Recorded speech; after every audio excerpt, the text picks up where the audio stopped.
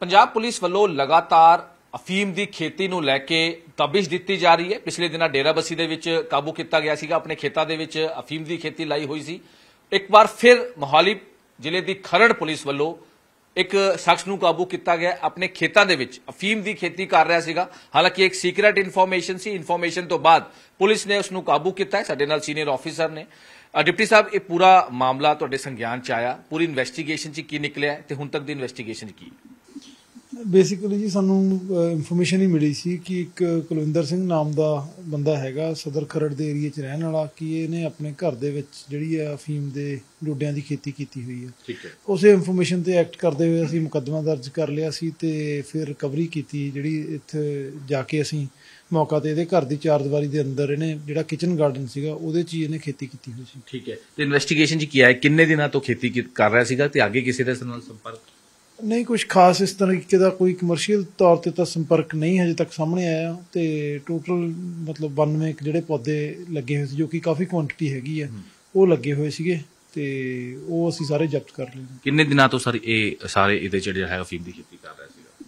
ਇਹਨੇ ਜੀ ਮਤਲਬ ਕਹਿ ਲਓ ਵੀ ਸੈਕੰਡ ਟਾਈਮ ਜਿਹੜਾ ਇਹਨੇ ਕੀਤਾ ਸੀ ਫਸਟ ਟਾਈਮ ਇਹਨੇ ਬਹੁਤ ਥੋੜੀ ਕੁਆਂਟੀਟੀ ਜੋ ਇਹਦੀ ਪੁੱਛਗਿੱਛ ਮੁਤਾਬਕ ਪਤਾ ਲੱਗਿਆ। ਇਸ ਟਾਈਮ ਇਹਨੇ ਥੋੜੀ ਜ਼ਿਆਦਾ ਲਾਰਜ ਸਕੇਲ ਟਾਈਪ ਤੇ ਕਰ ਲਿਆ ਸੀਗਾ। ਤੇ ਰੀਜ਼ਨ ਕੀ ਲੱਗਿਆ ਕਿ ਕਿਦੋਂ ਦਿੰਦਾ ਸੀ ਅੱਗੇ ਜਾਂ ਫਿਰ ਆਪਣੇ ਯੂਜ਼ ਵਾਸਤੇ ਕਰਦਾ ਸੀਗਾ ਹੁਣ ਤੱਕ ਦੀ ਇਨਵੈਸਟੀਗੇਸ਼ਨ ਨਹੀਂ ਜੀ ਇਹ ਇਹਦੀ ਪੁੱਛਗਿੱਛ ਦੇ ਮੁਤਾਬਕ ਇਹੀ ਆਇਆ ਕਿ ਇਹ ਸੈਲਫ ਕੰਜ਼ੰਪਸ਼ਨ ਦੇ ਤੌਰ ਤੇ ਹੀ ਜਿਹੜਾ ਹੈਗਾ ਉਹ ਕਰਦਾ ਸੀਗਾ। ਠੀਕ ਹੈ। ਤੇ ਸਰ ਇਹ ਕਿਉਂਕਿ ਐਨਡੀਪੀਐਸ ਦਾ ਮਾਮਲਾ ਦਰਜ ਹੋਇਆ ਇਹ ਕਮਰਸ਼ੀਅਲ 'ਚ ਜਿਹੜਾ ਹੈਗਾ ਹੁਣ ਤੱਕ ਦੀ ਇਨਵੈਸਟੀਗੇਸ਼ਨ 'ਚ ਆ ਰਿਹਾ ਕਿ ਕਮਰਸ਼ੀਅਲ ਜਾਊਗਾ ਜਾਂ ਫਿਰ ਕਿਸ ਤਰ੍ਹਾਂ?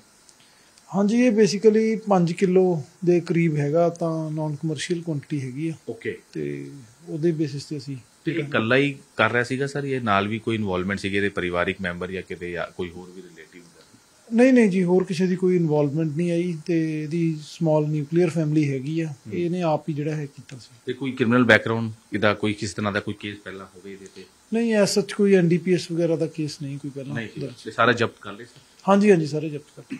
ਠੀਕ ਹੈ। ਤੇ ਬਿਲਕੁਲ ਜਿੱਦਾਂ ਸਰ ਨੇ ਦੱਸਿਆ ਕਿ ਹਾਲਾਂਕਿ ਇਹ ਦੂਜੀ ਵਾਰੀ ਇਹਨੇ ਅਫੀਮ ਦੀ ਖੇਤੀ ਕੀਤੀ ਸੀ ਹਾਲਾਂਕਿ ਸਾਰੀ ਚੀਜ਼ਾਂ ਰਿਕਵਰ ਕਰ ਲਈ ਗਈ ਹੈ। ਔਰ ਇਹ ਲਗਾਤਾਰ ਇਸ ਤਰ੍ਹਾਂ ਦੇ ਮਾਮਲੇ ਸਾਹਮਣੇ ਆਉਣ ਤੋਂ ਬਾਅਦ ਹੁਣ ਪੁਲਿਸ ਦਾ ਐਕਸ਼ਨ ਜਿਹੜਾ ਉਹ ਜ਼ਰੂਰ ਵੇਖਣ ਨੂੰ ਮਿਲਿਆ ਸਭ ਤੋਂ ਪਹਿਲਾਂ ਚੰਡੀਗੜ੍ਹ ਦੇ ਵਿੱਚ ਚੰਡੀਗੜ੍ਹ ਪੁਲਿਸ ਵੱਲੋਂ ਵੀ ਕਾਫੀ ਜਿਹੜੀ ਨਰਸਰੀ ਦੇ ਵਿੱਚ ਲਾਈ ਗਈ ਸੀ, ਉਹ ਜ਼ਬਤ ਕੀਤੀ ਗਈ ਸੀ। ਉਸ ਤੋਂ ਬਾਅਦ ਡੇਰਾਬੱਸੀ ਪੁਲਿਸ ਨੇ ਜਿਹੜਾ ਇਨਫੋਰਮੇਸ਼ਨ ਤੇ ਇੱਕ ਸ਼ਖਸ ਨੂੰ ਕਾਬੂ ਕੀਤਾ ਸੀਗਾ ਤੇ ਹੁਣ ਖਰੜ ਪੁਲਿਸ ਵੱਲੋਂ ਵੀ ਇੱਕ ਜਿਹੜੀ ਹੈਗੀ ਇਹਦੇ ਵਿੱਚ ਕਾਬੂ ਕੀਤਾ ਗਿਆ ਤੇ ਪੁੱਛਗਿੱਛ ਸਾਹਮਣੇ ਆਇਆ ਕਿ ਦੂਜੀ ਵਾਰੀ ਉਹਨੇ ਇਹ ਕੀਤੀ ਸੀ ਤੇ ਬੜਾ ਹੀ ਲੁਕੋ ਕੇ ਉਸਨੇ ਸਾਰੇ ਜਿਹੜਾ ਹੈਗਾ ਲੁਕੋ ਕੇ ਸਾਰੀ ਕਰ ਰਿਹਾ ਸੀਗਾ ਔਰ ਕਿਸ ਪਰਪਸ ਵਾਸਤੇ ਜਾਂ ਕਿਸ ਤਰ੍ਹਾਂ ਦੀ ਇਹ ਲਗਾਤਾਰ ਇਨਵੈਸਟੀਗੇਸ਼ਨ ਦਾ ਪਾਰਟ ਹੈ। ਖਰੜ ਤੋਂ ਕੈਮਰਾਮੈਨ ਸਰਮਪ੍ਰੀਤ ਸਿੰਘ ਨਾਲ ਮਨੋਜ ਰਾਠੀ ਨਿਊਜ਼ 18 ਪੰਜਾਬ।